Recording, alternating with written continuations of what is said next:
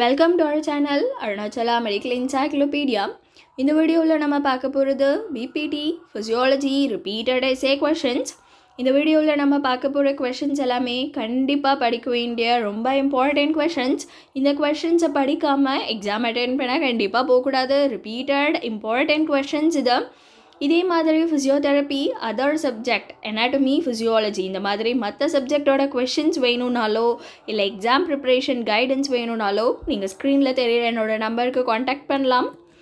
So நம்ம கொஷின்ஸை பார்க்க start பண்ணலாம். ஃபிசியாலஜியை பொறுத்த வரைக்கும் எட்டு சாப்டர்லேருந்து எஸ்ஏ கொஷின்ஸ் கேட்குறாங்க ஃபர்ஸ்ட் சாப்டரான செல் ஃபிசியாலஜிலேருந்து உங்களுக்கு எந்த இசையும் வராது. So second chapter blood and body fluids அப்படிங்கிற ரெண்டாவது சாப்டர்லேருந்து நமக்கு எஸ்ஏ கொஷின்ஸ் கேட்பாங்க. இந்த ஃபோர்த்து சாப்டர்லேருந்து நாலு எஸ்ஏ கொஷின்ஸ் கேட்டிருக்காங்க இது வரைக்கும் அதில் ரொம்பவும் ரிப்பீட்டடாக கேட்டிருக்கிறது இந்த முதல் ரெண்டு எஸ்ஏ கொஷின் எரித்ரோபாசிஸ் இம்யூனிட்டி எரித்ரோபாசிஸ்க்கு ஸ்பெல்லிங் இங்கே மிஸ்டேக்காக இருக்குது ஸோ ஹியர் இதான் எரித்ரோபாசிஸ் எரித்ரோபாசிஸ்னா என்ன? டிஃபைன் எரித்ரோபாசிஸ் அந்த எரித்ரோபாசிஸ் ப்ராசஸை அஃபெக்ட் பண்ணக்கூடிய ஃபேக்டர்ஸ் என்னென்ன? பிளட் க்ளோட்டிங் மெக்கானிசம் என்னென்ன? அப்படின்னு கேட்டிருக்காங்க. அடுத்தது இம்யூனிட்டி இம்யூனிட்டினா என்ன? இம்யூனிட்டியோட டைப்ஸ் என்ன? செல் மீடியேட்டட் இம்யூனிட்டியோட மெக்கானிசமை பற்றி டீட்டெயிலாக எழுதுங்க அப்படின்னு கேட்டிருக்காங்க. அடுத்தது ஹீமோஸ்டைசிஸ்னால் என்ன?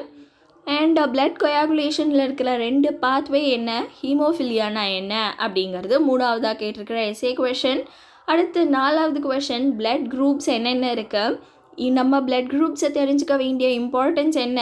தப்பாக பிளட்டை டிரான்ஸ்ஃபியூஸ் பண்ணால் நடக்கிற ரியாக்ஷன் என்ன? அப்படிங்கிறது நாலாவது question so blood and body ஃப்ளூயிட்ஸ்லேருந்து ரிப்பீட்டடாக கேட்டிருக்கிற எஸ்ஏ கொஷன்ஸ் இது. அடுத்த சாப்டர் பார்த்திங்கன்னா மசில் ஃபிசியாலஜி மசில் ஃபிசியாலஜிலேருந்து ரிப்பீட்டடாக கேட்குற question mechanism of contraction in skeletal muscle skeletal muscle contract ஆகிறதுல இருக்கிற மெக்கானிசம் என்ன? அதை சூட்டபிளான டயக்ராமோட எக்ஸ்பிளைன் பண்ணுங்கள் மைஸ்தினியா கிரேவிஸ்னால் என்ன?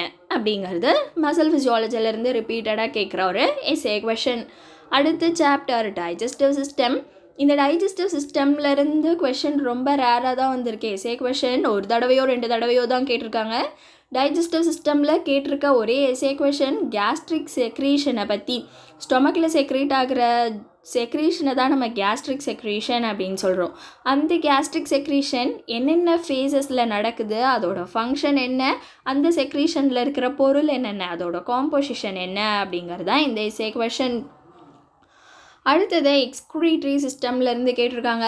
எக்ஸ்க்ரீட்ரி சிஸ்டம்லேருந்து ரொம்பவே ரிப்பீட்டடாக கேட்டிருக்க கொஷன் ஃபார்மேஷன் ஆஃப் யூரின் தேவையான அளவுக்கு நிறைய தடவை கேட்டிருக்காங்க இந்த கொஷன் அப்புறம் மெக்சுரேஷன்னா என்ன அப்படின்னு கேட்டிருக்காங்க. இது மட்டும் இல்லாமல் மிக்சுரேஷன் தனியாக உங்களுக்கு ஃபைவ் மார்க்கில் கூட வரும். So formation of urine micturition இது ரெண்டுமே வந்து உங்களுக்கு தனித்தனியாக ஃபைவ் மார்க்கில் கேட்குற கொஷின் சேர்த்து எஸ்ஏல கேட்குற கொஷின் ரொம்ப இம்பார்ட்டண்ட்டான ஒரு கொஷின் அடுத்தது நமக்கு யூரின் ஃபார்மேஷனோட ஸ்டெப்ஸ் என்னென்ன? ப்ளஸ் க்ளோமருல்லார் ஃபில்ட்ரேஷன் ரேட்டுனா என்ன? அந்த க்ளோ அந்த க்ளோமருல்லார் ஃபில்ட்ரேஷனை அஃபெக்ட் பண்ணக்கூடிய ஃபேக்டர்ஸ் என்னென்ன? ரீனல் கிளியரன்ஸ்னால் என்ன?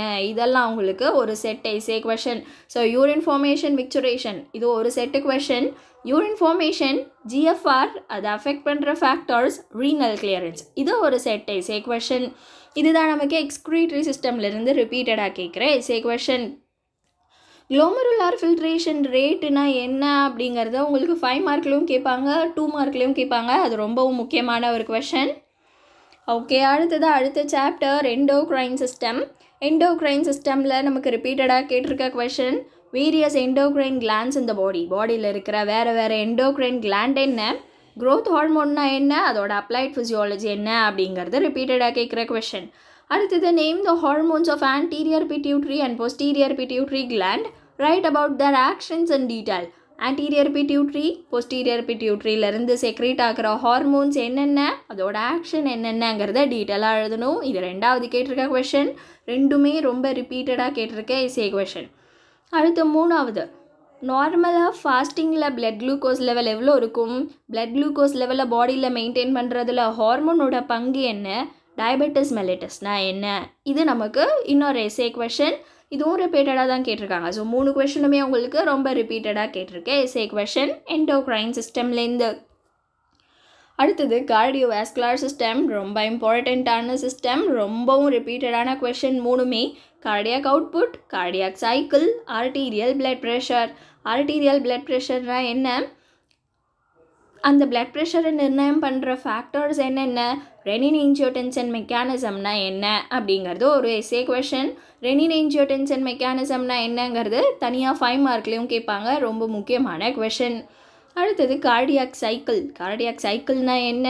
கார்டியாக் சைக்கிளோட டிஃப்ரெண்ட் ஃபேஸஸில் என்னென்ன சேஞ்சஸ் நடக்கும் நம்ம பாடியில் அப்படிங்கிறத நம்ம டயக்ராமோட எழுதணும் அப்படிங்கிறது ரெண்டாவது கொஷின் அடுத்தது கார்டியாக் அவுட்புட் கார்டியாக் அவுட்புட்னா என்ன? அந்த கார்டியாக் அவுட்புட்டை ரெகுலேட் பண்ணுற ஃபேக்டர்ஸ் என்ன? இது மூணாவது கொஷின் ஸோ இந்த மூணு கொஷினுமே ரொம்ப ரிப்பீட்டடாக கேட்டிருக்கேன் எஸ்ஏ கொஷின் ஃபிசியாலஜியில் கார்டியோவாஸ்குலார் சிஸ்டம்லேருந்து ஓகே இது மூணு கொஷினும் இல்லாமல் கண்டிப்பாக கொஷின் பேப்பரே இருக்காது. இந்த மூணு கொஷினும் அட்லீஸ்ட் ஃபைவ் மார்க்லேயாவது வரும். இல்லை கண்டிப்பாக எஸ்ஏல வந்துடும் ஸோ ரொம்ப இம்பார்ட்டண்ட்டான கொஷின் ஸ்கிப்பே பண்ண முடியாத கொஷின் அடுத்தது ரெஸ்பிரேட்டரி சிஸ்டம் ரெஸ்பிரேட்டரி சிஸ்டம்லேருந்து ரொம்ப ரிப்பீட்டடாக கேட்டிருக்கேன் SA question transport of carbon dioxide in blood பிளட்டில் கார்பன் டை ஆக்சைடு எப்படி டிரான்ஸ்போர்ட் ஆகுதுங்கிறது ஒரு எஸ்ஏ கொஷன் ஃபைவ் மார்க்லேயும் வரும். அந்த மாதிரி பிளட்டில் டிரான்ஸ்போர்ட் ஆஃப் ஆக்சிஜன் எப்படி நடக்குது அப்படிங்கிறது ஒரு எஸ்ஏ கொஷன் அதுவும் ஃபைவ் மார்க்கில் வரும். ஆக்சிஜன் டிரான்ஸ்போர்ட் கூட சேர்த்து சேய்சன்ஸ் டிசீஸ்னால் என்ன அப்படின்னும் கேட்டிருக்காங்க. ஸோ இது ரெண்டும் ரிப்பீட்டடாக கேட்டிருக்கே எஸ்ஏ கொஷின் அதுக்கு அடுத்து ரிப்பீட்டடாக கேட்டிருக்கிறது நியூரல் ரெகுலேஷன் ஆஃப் ரெஸ்பிரேஷன் ரெஸ்பிரேஷனை மெயின்டைன் பண்ணுறதுல நர்வ்ஸோட பங்கு என்ன? நியூரல் ரெகுலேஷன் ஆஃப் ரெஸ்பிரேஷன்னா என்ன அப்படிங்கிறது. ப்ளஸ் அது கூட சேர்த்து ரெஸ்பிரேஷனில் எக்ஸசைஸ் பண்ணும்போது ரெஸ்பிரேஷனில் என்னென்ன சேஞ்சஸ் நடக்குது அப்படின்னு கேட்டிருக்காங்க. So neural regulation of respiration transport of carbon dioxide transport of oxygen இது மூணும் ரிப்பீட்டடாக கேட்டிருக்க கொஷின் அடுத்து ரிப்பீட்டடாக கேட்டிருக்க கொஷின் என்னென்னா எக்ஸசைஸ் பண்ணுறப்ப ரெஸ்பிரேட்டரி சிஸ்டம்லேயும் கார்டியோவாஸ்குலர் சிஸ்டம்லேயும் என்னென்ன சேஞ்சஸ் நடக்கும் அப்படின்னு ரெண்டு சிஸ்டமையும் கம்பைன் பண்ணி கொஷின் கேட்டிருக்காங்க. கார்டியோவாஸ்குலர் சிஸ்டம் ரெஸ்பிரேட்டரி சிஸ்டம் ரெண்டுத்தையும் சேர்த்து ரெண்டுத்துலேயும் எக்ஸசைஸ் நடக்கும் போது என்னென்ன எக்ஸசைஸ் பண்ணும்போது என்னென்ன சேஞ்சஸ் நடக்கும் அப்படிங்கிறது ஒரு கொஷன் ஸோ நாலுமே தேவையான அளவுக்கு ரிப்பீட்டடாக கேட்டிருக்க கொஷின் இந்த ஃபஸ்ட்டு மூணு கொஷின் ரொம்ப ரொம்ப இம்பார்ட்டண்ட்டான கொஷின் அடுத்தது நர்வஸ் சிஸ்டம் நர்வஸ் சிஸ்டம்லேருந்து ரிப்பீட்டடாக கேட்டிருக்க கொஷின் என்னென்னு பார்த்தீங்கன்னா சினாப்ஸ் நியூரோமஸ்குலார் ஜங்ஷன் நியூரோமஸ்குலார் ஜங்ஷன்னா என்ன? நர்வுக்கும் மசிலுக்கும் நடுவில் இருக்கிற ஜங்ஷன் நியூரோமஸ்குலார் ஜங்ஷன் அந்த நியூரோமஸ்குலார் ஜங்ஷனில் இம்பல்ஸ் எப்படியெல்லாம் டிரான்ஸ்மிட் ஆகுது அப்படின்னு கேட்டிருக்காங்க. அடுத்த ரெண்டாவது கொஷின் பார்த்தீங்கன்னா ascending tracts of spinal cord spinal கார்டில் அசெண்டிங் ட்ராக்ட்னா என்ன? பெயின் பாத்வேனா என்ன? டைப்ஸ் ஆஃப் பெயின் என்னென்ன இருக்குது அப்படிங்கிறது அடுத்த எஸ்ஏ கொஷன் இதுவும் ரிப்பீட்டடாக கேட்டிருக்க கொஷின் அடுத்தது சினாப்ஸ் சினாப்ஸ்னால் என்ன? சினாப்ஸோட கிளாஸிஃபிகேஷன் என்ன? அதோட ப்ராப்பர்ட்டிஸ் என்ன? அப்படிங்கிறது அடுத்த எஸ்ஏ கொஷன் சினாப்ஸும் நியூரோமஸ்குலார் ஜங்ஷனும் ரொம்ப ரிப்பீட்டட் கொஷன் அடுத்தது செரிபெல்லமை பற்றி கேட்டிருக்காங்க. செரிபெல்லமோட டிவிஷன் என்னென்ன? அதோட கனெக்ஷன்ஸ் என்ன? அதோட ஃபங்க்ஷன் என்ன? அப்படின்னு செரிபெல்லமை பற்றி ஃபுல்லாக கேட்டிருக்காங்க. அடுத்தது ஸ்பைனல் கார்டில் ஏற்படுற டிசீஸை பற்றின ஒரு இசை கொஷன் ஸ்பைனல் கார்டில் என்னென்ன டிசீஸ் எல்லாம் இருக்கும்? அதை தவிர ப்ரௌன் சேக்வாட் சின்ட்ரோம்னா என்ன? அப்படின்னு கேட்டிருக்காங்க.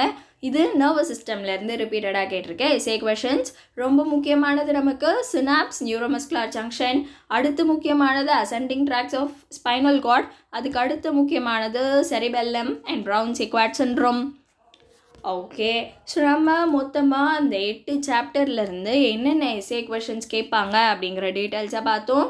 Blood and body fluids, muscle physiology, digestive system, excretory system, endocrine system, cardiovascular system, respiratory system and nervous system so இந்த எல்லா சாப்டர்ல இருந்தும் என்னென்ன எஸ்ஏ கொஷின்ஸ் கேட்பாங்க அப்படிங்கிறத நம்ம பார்த்துட்டோம். டோட்டலாக டுவெண்ட்டி த்ரீ எஸ்ஏ கொஷின்ஸ் கேட்டிருக்காங்க. நமக்கு ரிப்பீட்டட் எஸ்ஏ கொஷின் ஃபிசியாலஜியில் அப்படின்னு எடுத்தால் டுவெண்ட்டி த்ரீ எஸ்ஏ கொஷின்ஸ் வருது. இப்போ உங்களுக்கு எக்ஸாம் ரொம்ப கிட்ட வந்துடுச்சு. ஒரு வாரத்துக்கும் கம்மியாக தான் டைம் இருக்குது அப்படின்னா கூட உங்களால் ப்ராப்பராக பிளான் பண்ணி படித்தா இந்த டுவெண்ட்டி த்ரீ எஸ்ஏ கொஷின்ஸை ஈஸியாக கவர் பண்ண முடியும்.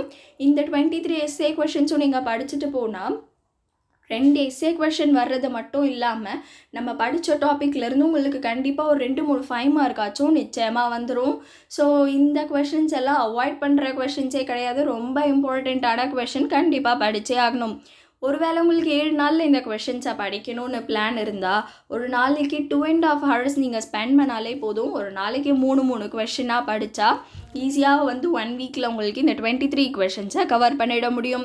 ஒரே ஒரு நாள் மட்டும் அடிஷ்னலாக ஒரு கொஷின் படிங்க. அதை தவிர நீங்கள் மற்ற நாளில் மூணு மூணு கொஷின் முடிச்சுட்டே வந்தால் ஒரு வாரத்தில் ஃபிசியாலஜியில் இருக்கிற ரிப்பீட்டட் எஸ்ஏ கொஷின்ஸை உங்களால் ஈஸியாக முடிக்க முடியும். ஆனால் இதுக்கு என்ன தேவைன்னா உங்களுக்கு புரிஞ்சு படிக்கணும். நீங்கள் அவங்களால மனப்பாடம் பண்ண முடியாது. மூணு எஸ்ஏ கொஷினை ரெண்டரை மணி நேரத்தில் நம்மளால் மனப்பாடம் பண்ண முடியாது. ஆனால் புரிஞ்சுக்க முடியும். ஸோ உங்களுக்கு தெளிவாக புரிஞ்சுதுன்னா ஒரு தடவை படித்து பார்த்தா உங்களுக்கே தெளிவாக புரிஞ்சுதுன்னா உங்களால் ரெண்டரை மணி நேரத்தில் மூணு எஸ்ஏ கொஷின்ஸை ஈஸியாக முடிக்க முடியும். ஒருவேளை உங்களுக்கு அப்படி புரிஞ்சுக்கிறதுல ப்ராப்ளம் இருந்துச்சுன்னா புரிஞ்சுக்க கஷ்டமாக இருந்துச்சுன்னா நான் கண்டக்ட் பண்ணுற லாஸ்ட் மினிட் எக்ஸாம் ப்ரிப்ரேஷன் கிளாஸில் ஜாயின் பண்ணுங்கள் தெளிவாக உங்களுக்கு எஸ்ஏ கொஷனுக்கான மீனிங் ஃபுல்லாக புரிய புரிகிற மாதிரி நான் உங்களுக்கு தமிழில் லெக்சர்ஸ் கொடுக்குறேன். இந்த வீடியோவை நீங்கள் பார்த்துட்டு அதுக்கப்புறம் நான் கொடுக்குற நோட்ஸை ஒரு தடவை படித்து பார்த்தாலே ரெண்டரை மணி நேரத்தில் மூணு கொஷினை உங்களால் ஈஸியாக ப்ரிப்பேர் பண்ண முடியும்.